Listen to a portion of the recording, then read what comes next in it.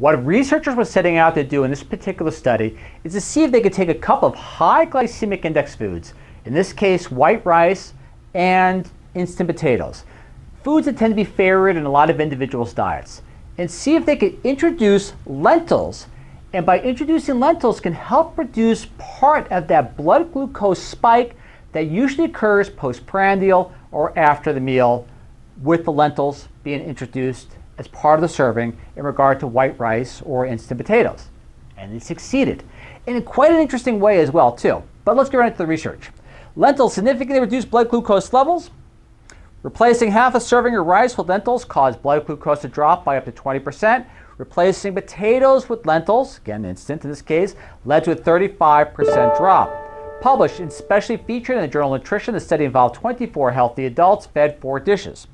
White rice or any combination of three different types of lentils, which we'll go into in a few seconds, but the results were similar regardless of the type of lentils utilized here, and repeated the process for the potatoes.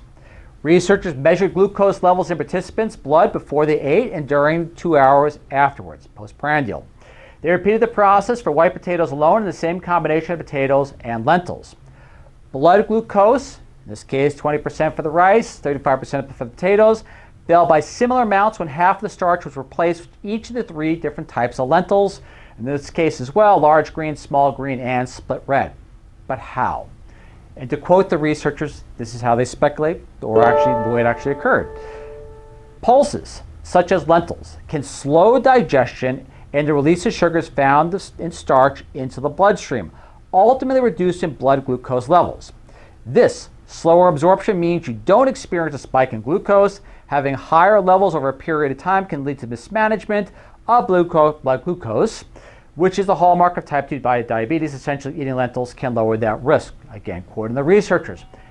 And this is how, which I find quite intriguing.